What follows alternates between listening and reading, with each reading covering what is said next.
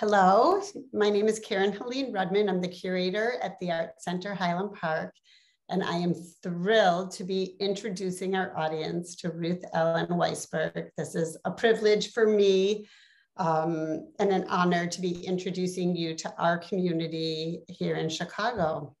So welcome. I am delighted to be back in Chicago in any possible way. so that leads me to say to, to, um, to our audience here that Ruth did grow up in Chicago. This is a homecoming of sorts. And a lot of you may not know her name, but you are really going to want to know her work.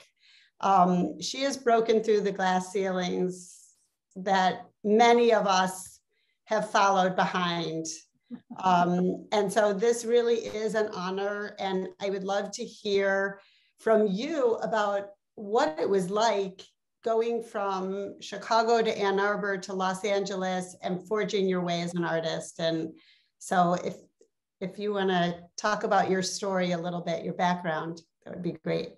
I, I would be delighted. I feel like I was gifted the most wonderful childhood.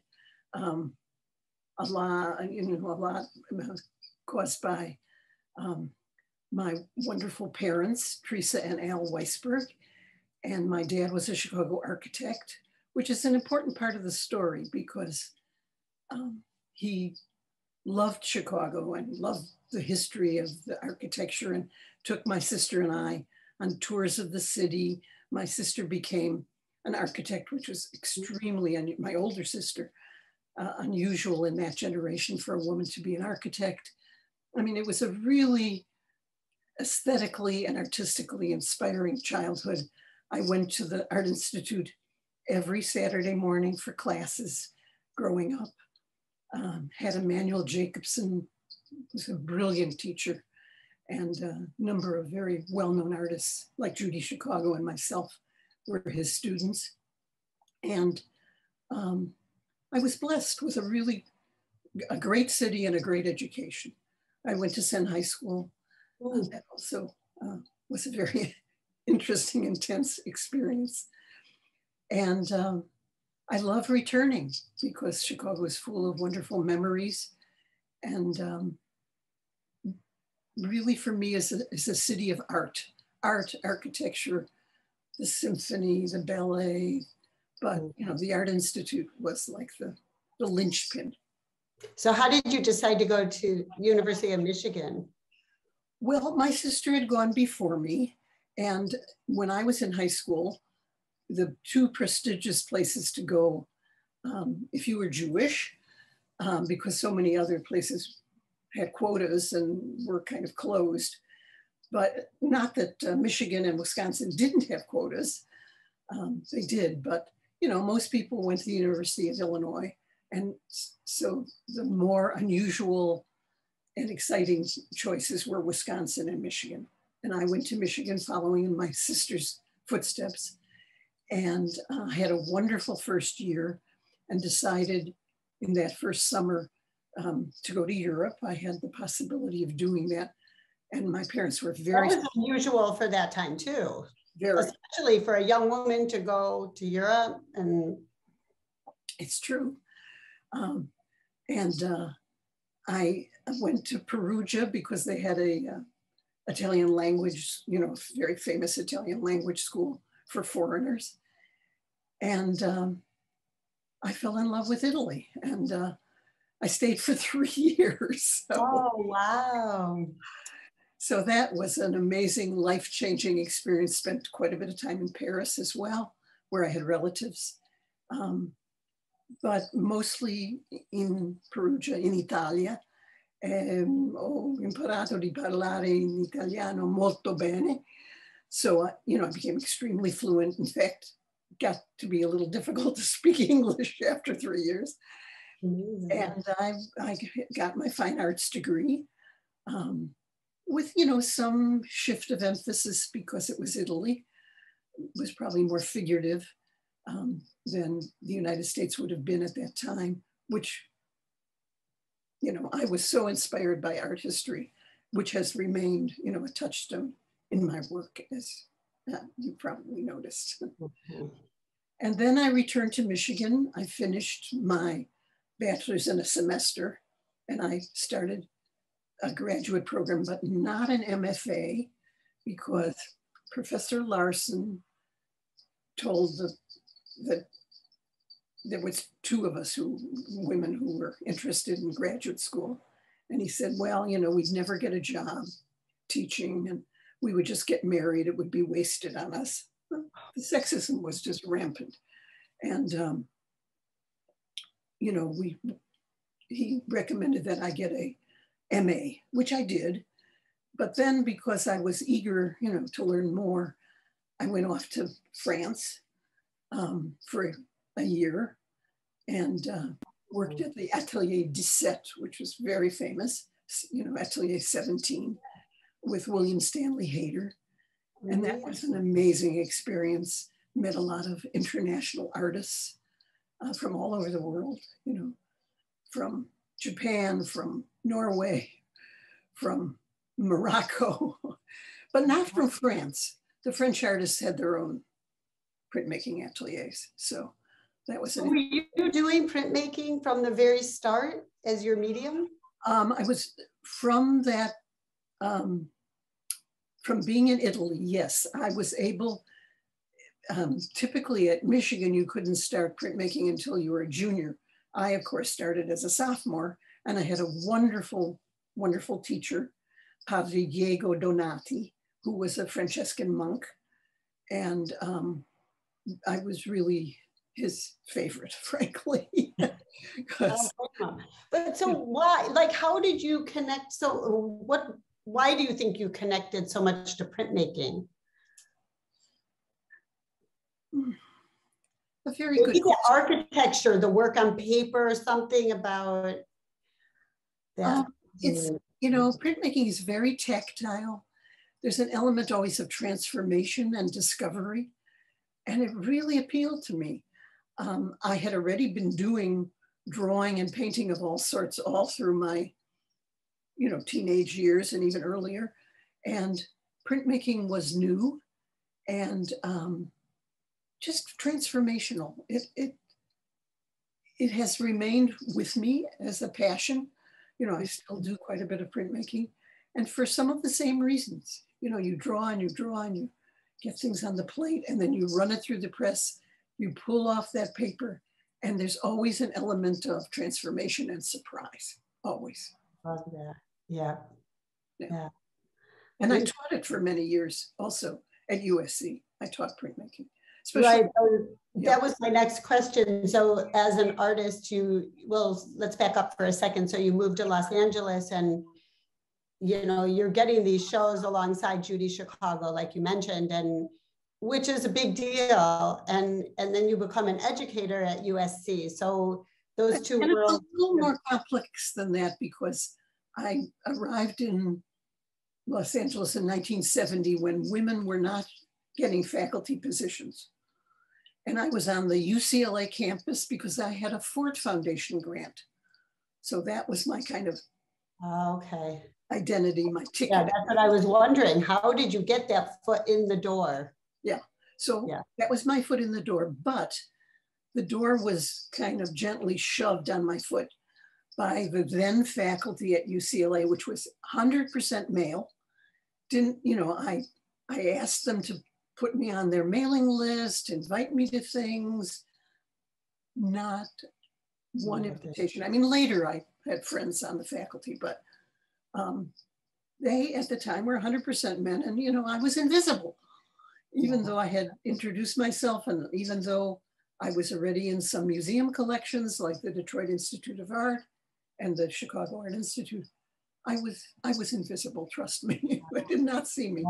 And they did not well, invite That is amazing. Like how did how did you get your work like for people who are watching who are you know struggling to get their work into institutions like that how how do you go about that? I mean, that's pretty amazing that you were able to have that kind of CV even going into yes, um, what you were doing. So I, I, I, I was gifted with some curators, um, encounters with curators who really saw the work and uh, admired it and wanted to acquire pieces and it it really made a huge difference. Mm-hmm.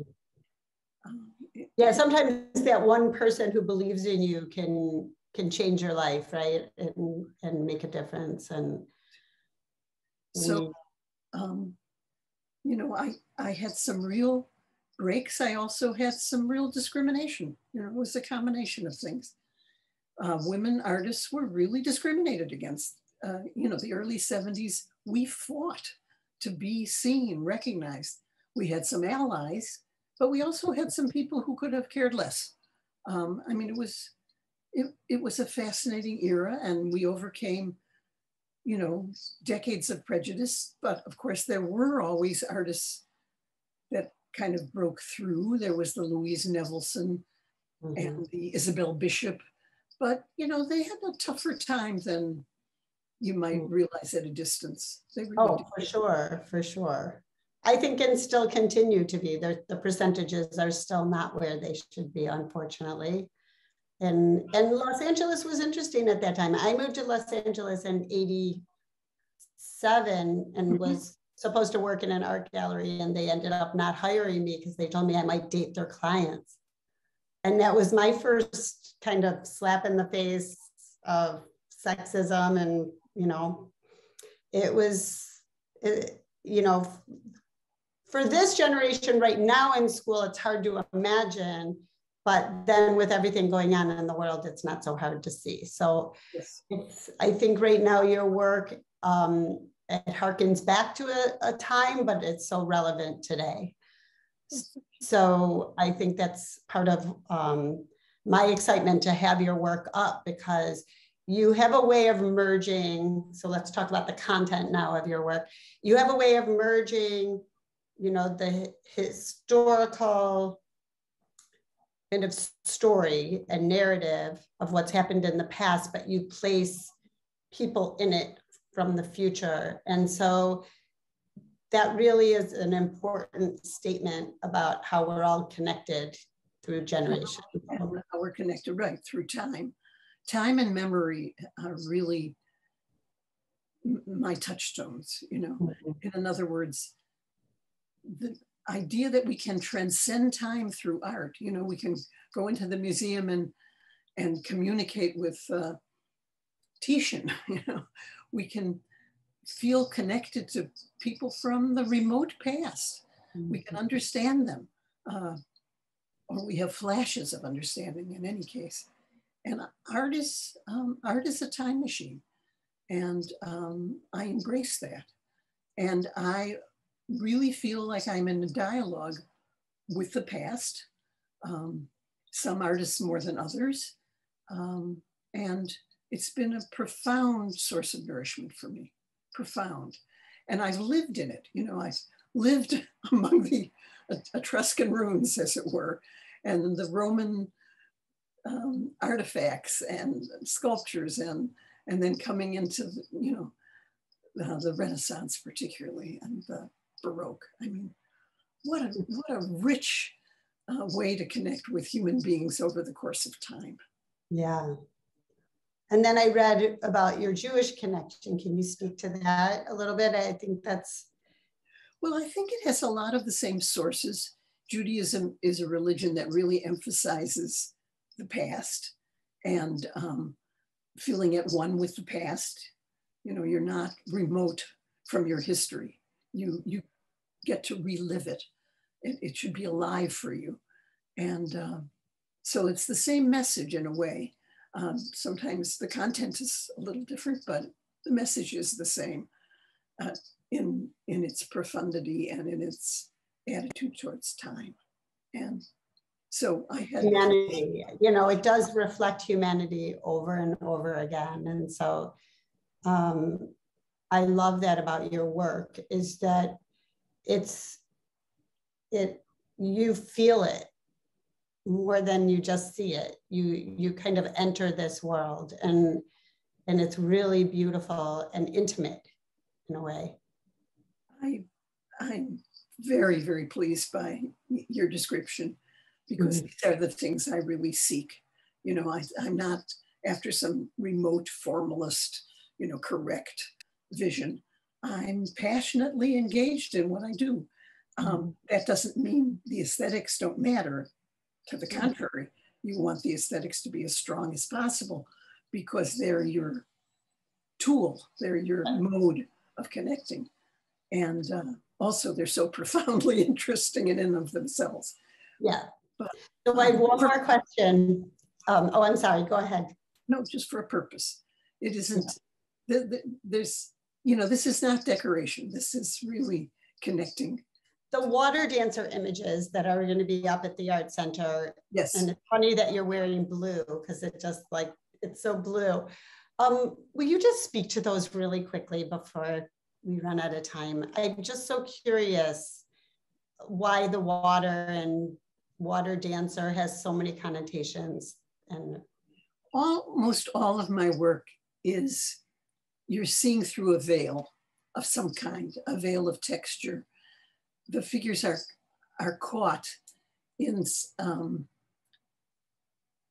um, a visual representation of time and memory. So they're not crisp and absolutely in the present. They're not. And how do you communicate this through texture and washes and, and color? So the, these are a very good example because I really pushed to the limit the idea of kind of seeing through another medium, in this case, water. But they're mm. not dressed in bathing suits. They're dressed in street clothes. So we're seeing them, we're glimpsing them in a reality that is at least makes some reference to the nor- to normal life, but it isn't. You know, we're seeing them through a, the veil of time and memory. I love that. I love that. So the exhibit is opening next month. We are so thrilled to have you here. Um, just for the business end of it. It opens September 30th, 5.30 to 8. And Ruth is going to give an artist talk on the first, the next day on Saturday from 2 to 4, from yeah, from 2 at 2 o'clock. So we are thrilled to be having you. We can't wait. I can't wait personally to to be able to lay out the exhibit and to see it in person. So thank you so much. it, it is so much my pleasure. And I would really looking forward to sharing this with old and new friends in Chicago.